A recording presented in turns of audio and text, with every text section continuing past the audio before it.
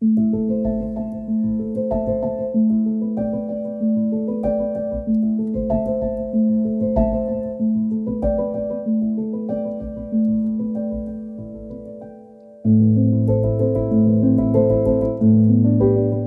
день, уважаемые зрители! Меня зовут Шарафеева Александра, я экскурсовод музея Фаберже. Мы находимся на выставке под названием «Красота святости и святость красоты», которая продлится до 14 июля этого года. Сегодняшняя наша онлайн-экскурсия будет посвящена фабрике Ивана Петровича Хлебникова, а также драгоценным окладам русских икон, представленным на выставке.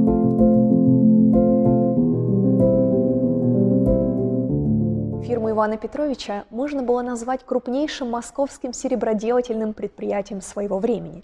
Открыта она была в 1871 году, однако, по словам основателя компании, он начал торговать серебряными изделиями аж за 40 лет до этой даты.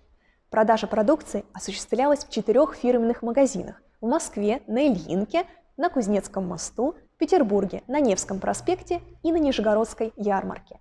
Уже в 1879 году Иван Петрович получил почетное звание поставщика двора его императорского величества, в связи с чем количество придворных заказов резко возросло. Кроме того, Хлебников был удостоен почетных званий поставщика дворов короля датского, короля сербского, короля нидерландского и даже князя Черногорского. Более того, фирма Хлебникова получала заказы на создание церковной утвари во многих значимых храмах – в Московском Кремле, в Риге, Ницце Киеве и многих других российских и зарубежных городах. В частности, именно фирма Ивана Петровича создала церковную утварь для храма Христа Спасителя в Москве, а именно около 50 культовых предметов. Окладов же на фабрике производили относительно немного. Как правило, все отличаются высоким качеством, независимо от конкретной техники исполнения, часто с накладными ризами и орнаментированными бордюрами на полях. Филигранность работы чувствуется даже в несложных произведениях, таких как оклад иконы «Богоматерь Казанская» под номером 5. На широких полях прочеканен вьющийся стебель с крупными высокорельефными цветками. Наугольники окаймлены золоченой веревочкой, превращающей контур деталей в особый декоративный элемент. Скромный розово-голубой цветочный подзор венца не нарушает цельности силуэта, но вносит лирическую ноту. Многие хлебниковские оклады украшены четкими повторяющимися узорами, где растительные мотивы геометризованы и образуют упорядоченную структуру. Например, цветки в кругах на окладе иконы «Великомученик Пантелеимон». Выверенная структура ощущается в окладах икон Господь Содержитель и ангел-хранитель и благоверный князь Александр Невский в предстоянии Святой Троицы. Оклад иконы Святитель Николай Чудотворец под номером 4 – напоминает работы Павла Овчинникова, которые мы видели на прошлой онлайн-экскурсии. На предприятии Хлебникова отдавали дань и модерну, но в основном предпочитали умеренный вариант стиля, как, например, на окладе иконы Богоматерь Иверская. Тем не менее, настоящим шедевром национального варианта модерна, неорусского стиля, можно считать складень «Спас нерукотворный», «Ангел-хранитель», «Святитель Николай Чудотворец» с чеканным изображением на навершии конного великомученика Георгия Победоносца, поражающего змея. Кайма навершия ассоциируется с лавровым венком, символом славы, почета и долголетия. Легкая симметрия вьющихся стебельков вокруг иконных образов придает орнаменту ту органическую естественность, которой были лишены узоры русского стиля.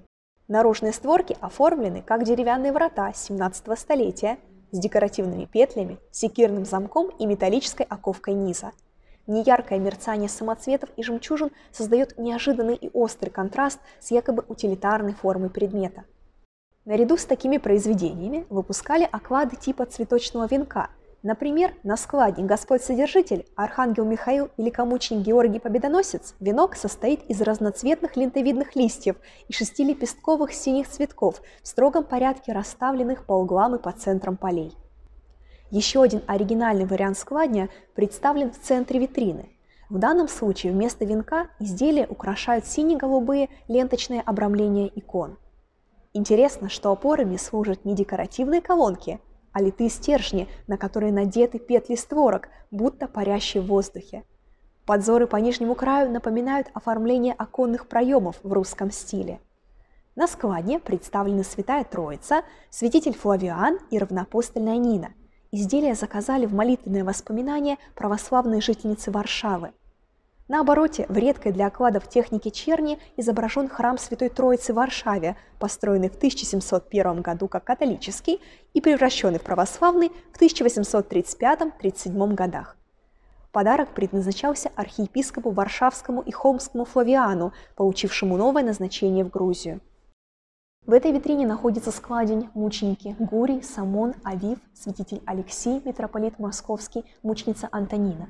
Складень был преподнесен Алексею Владимировичу Еврейнову, одному из богатейших помещиков Курской губернии, и его супруге Антонине Васильевне, во знаменование десятилетия со дня их свадьбы.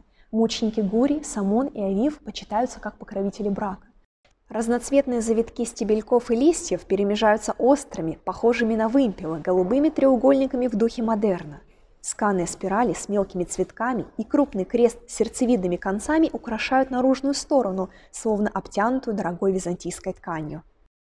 Складень был выполнен на фабрике Михаила Яковлевича Тарасова для фирмы Ивана Петровича Хлебникова. На этом наша онлайн-экскурсия подошла к концу. Мы будем рады видеть вас на выставке «Красота святости и святость красоты», которая продлится до 14 июля этого года. Следующая наша онлайн-встреча будет посвящена работам московской фабрики Федора Рюкерта, выдающегося ювелира, которого называли живописцем по эмали. До новых встреч!